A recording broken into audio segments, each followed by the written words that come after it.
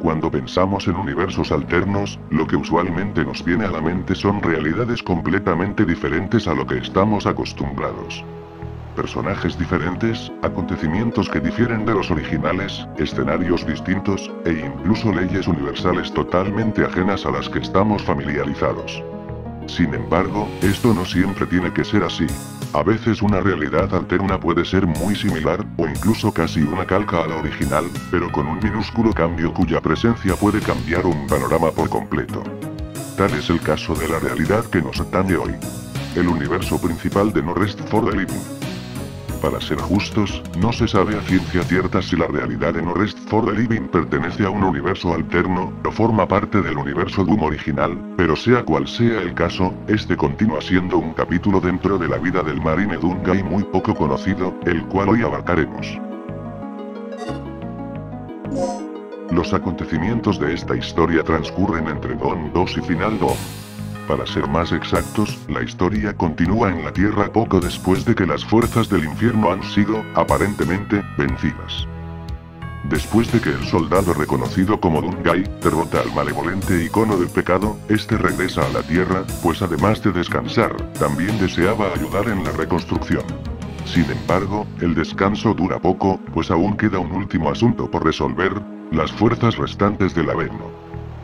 El primer objetivo es recuperar las instalaciones a las que conocen como la base tierra, uno de los mayores complejos militares que aún yace en un relativo buen estado, así como también es abundante en recursos, un sitio ideal como punta de lanza para la reconstrucción.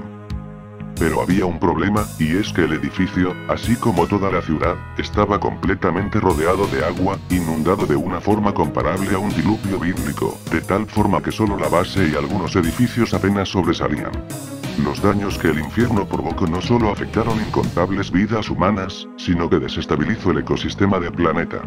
Los malignos fuegos infernales derritieron el hielo de los polos, afectando incontables ciudades cerca de las costas. Aún así, gracias a que se encontraba cerca y a su destreza, el Dungai logra llegar primero al complejo militar, el cual, como ya se lo esperaba, se encontraba infestado de demonios. Era hora de regresar a esos mal nacidos al lugar del que vinieron. Mientras avanza entre las escuadras infernales, el Tungai nota algo raro en estos demonios. La mayoría de los monstruos rezagados estaban desorganizados, atacaban sin estrategia con escasos números. Pero los de la base tierra estaban en posiciones estratégicas, eran muchos en zonas importantes, no era solo una horda sin sentido, era como si tuvieran una organización. Cuando terminó de limpiar los cuarteles generales, Dungai procedió hasta el centro de investigación de la base, convertidos en laboratorios del dolor, donde los engendros realizaban toda clase de horribles experimentos, por no mencionar que estaban reagrupándose y saqueando el lugar. Es aquí, gracias a la tecnología de las instalaciones, donde nuestro protagonista se entera de que los problemas estaban brotando de nuevo de su sitio vacacional favorito. El infierno. Un ciberdemonio punqueto ha construido un ejército de demonios para su propio uso personal, con el que planea convertir al infierno en un parque de diversiones personal, y hacer de la Tierra la taquilla. Y la única manera de detenerlo, será viajando a una microdimensión del infierno para asesinarlo y frustrar sus planes. Tras enterarse de Tambiles planes y limpiar los laboratorios, el marine toma un camino que lo guía hasta un camión de la muerte un sitio donde sustancias tóxicas fluyen como agua, mientras que una enorme fortaleza está en plena construcción por parte de los demonios. Al parecer los infernales usarían esto como punta de lanza para una nueva invasión, pero el Doom Marine frustra esos planes a base de plomo mientras continúa su avance, hasta llegar a una montaña infernal, donde, a diferencia del cañón, los demonios ya lograron construir una fortaleza completa en toda norma, por lo que el soldado de la Tierra tiene que enfrentarse a una segunda línea de defensa, compuesta de aragnotrones disparando desde la distancia, chaingunners en trincheras, mancubus liderando la carga, y montones de enemigos dispersos por caminos sin huesos. Pero pese a todo, el Dungai logra sobreponerse a la situación, exterminando a las fuerzas del bastión para poder avanzar a la siguiente área. Los pasos de Dungai lo llevan hasta una base militar secreta, que ahora yace tomada por los demonios. El sitio en un principio no parece ser demasiado problema, pues hay mucho armamento y pequeños grupos de demonios, sin embargo, cuando está a punto de salir, es emboscado por una marcha de demonios liderada por una mente arácnida maestra. El marine es abrumado, pero combate ferozmente, sobreviviendo al encuentro gracias a sus armas.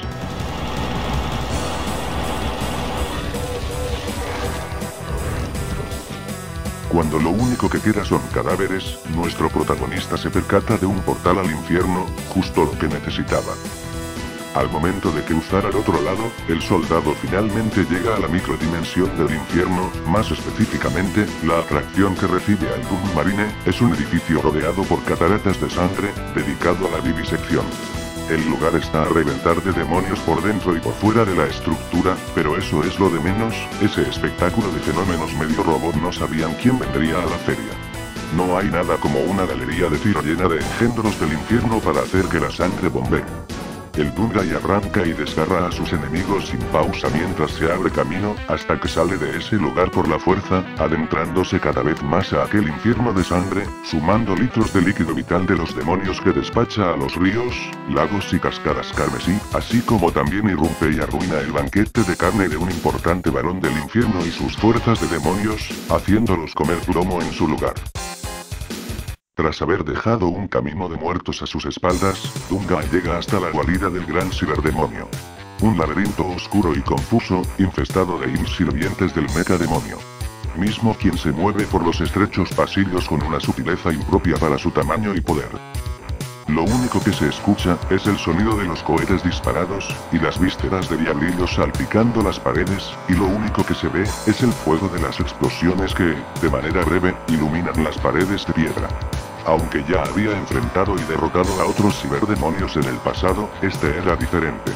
Su manera de emboscar era letal, y su capacidad para usar el laberinto a su favor es de temer, pero últimamente, el marine logra ser lo suficientemente audaz, escurridizo, y hábil como para abatir a la abominación y llevar a la malevolencia a su tumba.